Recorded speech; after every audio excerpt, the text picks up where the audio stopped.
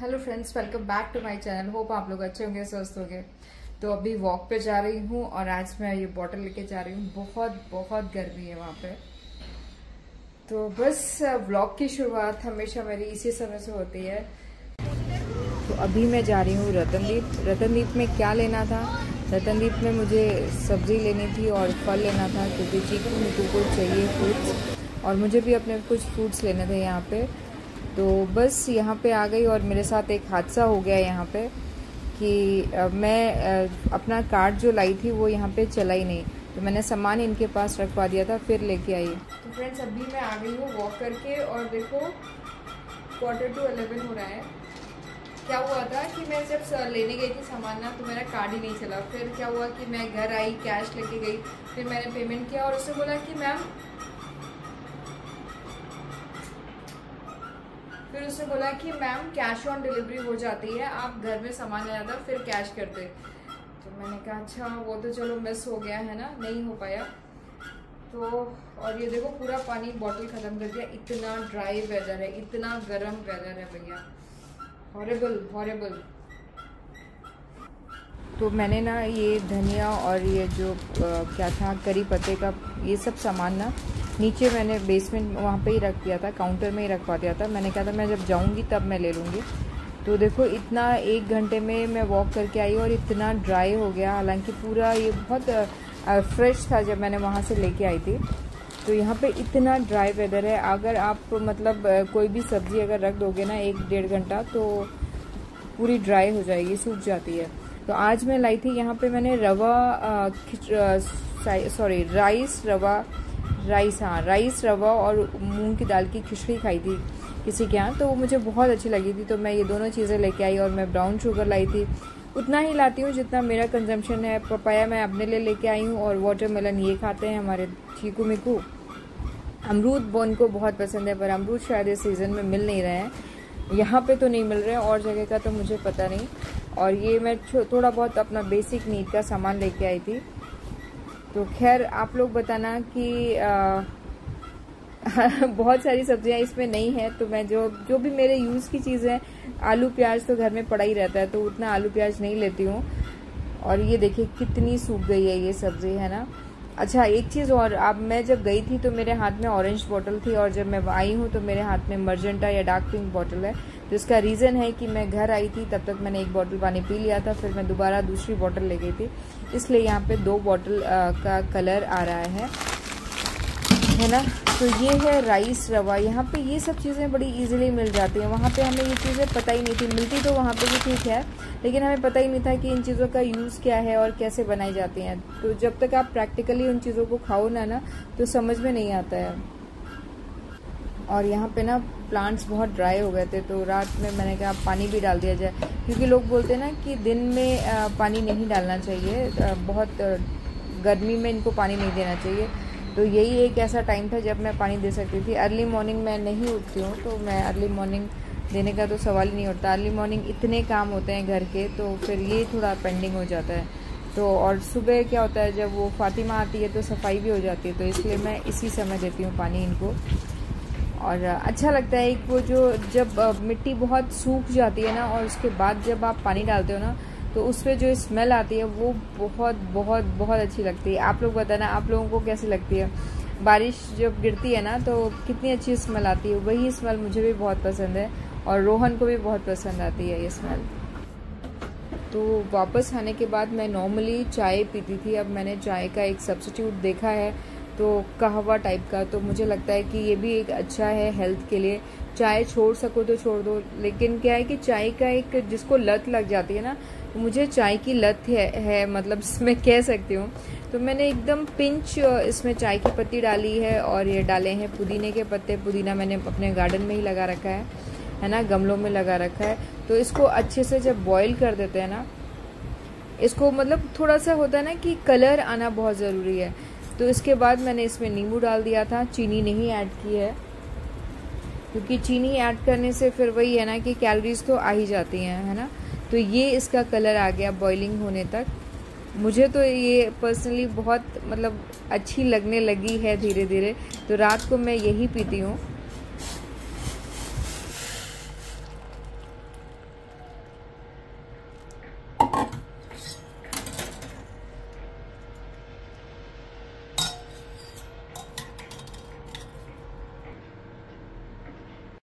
तो इस चाय के साथ आप सभी को गुड नाइट और शुभ रात्रि। और मिलते हैं नेक्स्ट मॉर्निंग आप लोगों से। ये मॉर्निंग 11 बजे के आसपास का व्लॉग है। तो मुझे लगा कि क्या खाना चाहिए? ये दही मैंने खुद जमाया था। तो पहले भी जमाती थी, यहाँ आके पहली बार मैंने ये दही जमाया और काफ़ी अच्छा जमा था दही। तो मेरे पास समोसे रखे थे, छोले रखे थे, फिर मैंने अनियन काटा। क्योंकि ये लेट 11 बजे के आसपास मुझे लगा कि क्या ब्रंच टाइप का कुछ खा लेते हैं और कुछ मन हो रहा था कुछ। और ये चीज़ें दोनों मेरे पास रखी थी। या तो मैं वेस्ट करती और अपने लिए कुछ और बनाती। तो मुझे वेस्ट करने का बिल्कुल मन नहीं हुआ क्योंकि मेरा फेवरेट है समोसा और छोले। छोले चाट ये मैंने नेपाल में खाई थी। तो मुझे बेसिकली बहुत बहुत बहुत पसंद है।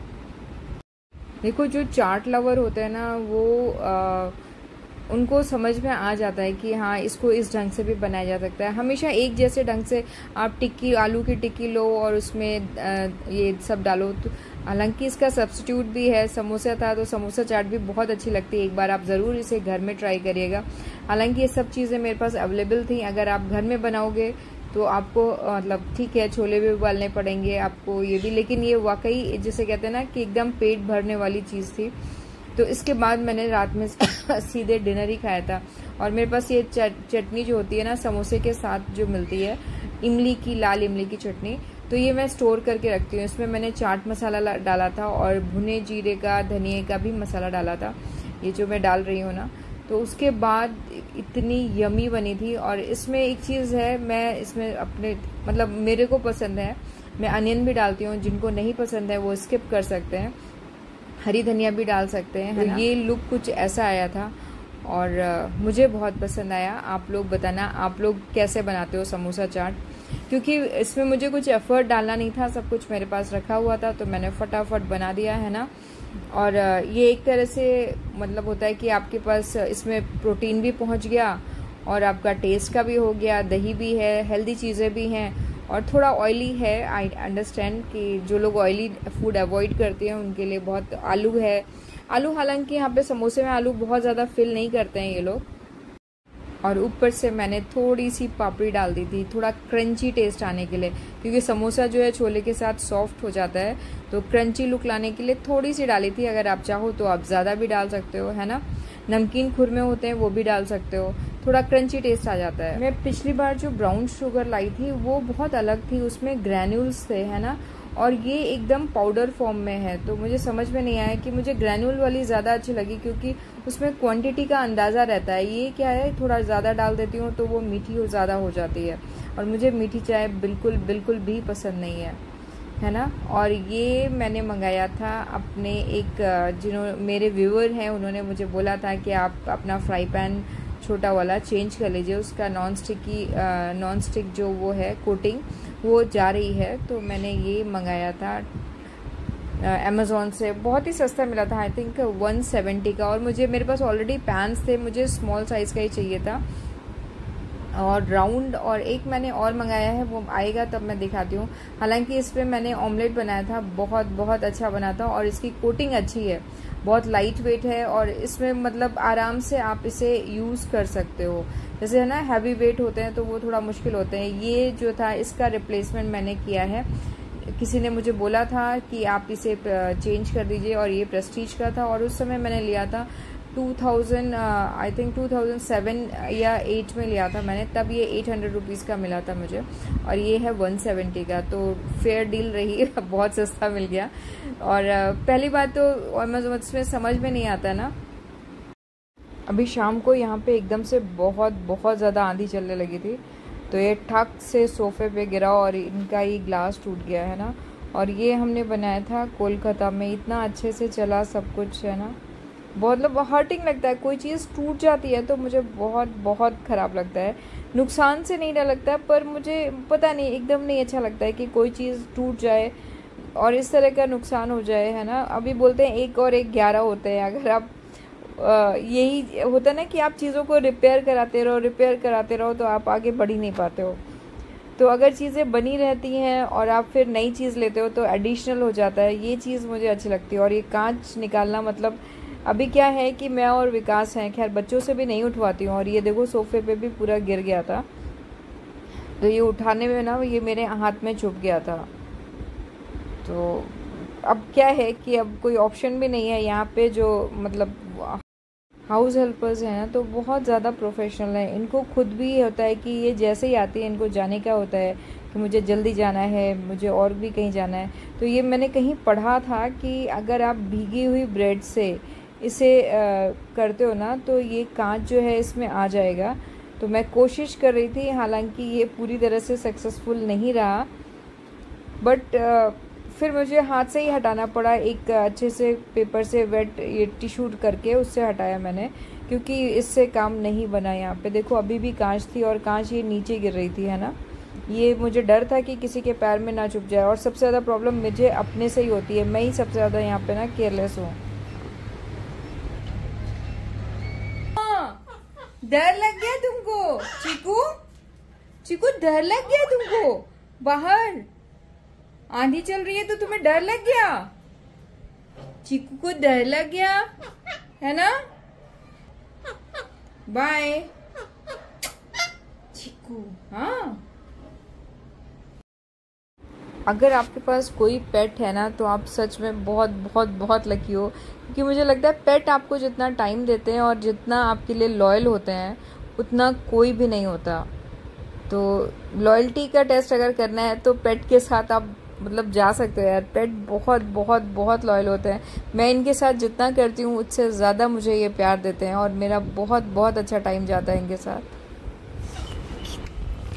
स्विमिंग पूल खाली हो गया। बिल्कुल एकदम सडनली इतनी तेज हवा आई ना स्विमिंग पूल एकदम फटाफट खाली हो गया। कितना अच्छा मौसम हो गया। सच में इट्स रिक्वायर्ड है। बहुत ज़्यादा गर्मी थी। देख रहे हो कितनी तेज़ हवा चल रही है यहाँ और ये हमारे चीकू को क्या हो गया? चीकू को क्या हो गया? हाँ। यहाँ देखो कैसा हो जाता है ये। ऐसी आंधी आती है।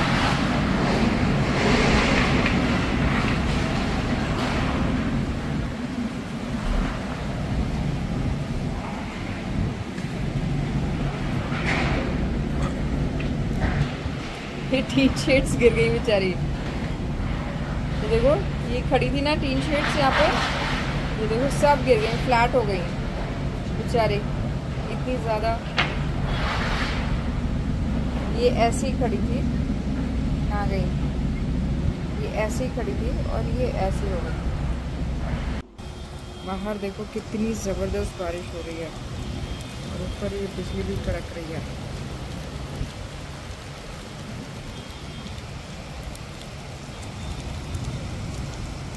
पूल पूरा खाली हो गया स्विमिंग पूल